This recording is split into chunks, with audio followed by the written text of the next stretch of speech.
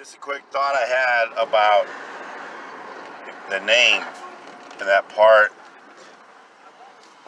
I think it's told a couple times. But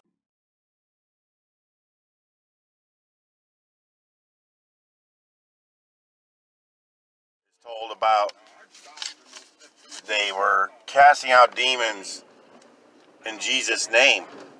His disciples told him this.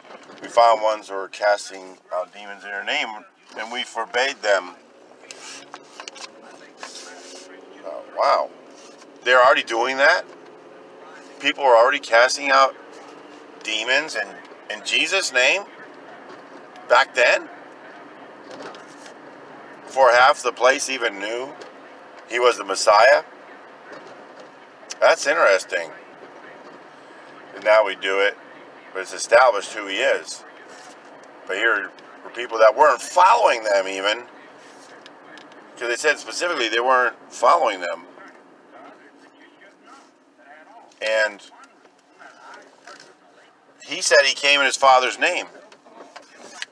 So I, my thought was maybe they just knew that his name was the name of God. And they were casting out demons in God's name. And that offended them. It offended them that they're casting out demons in God's name while not following God.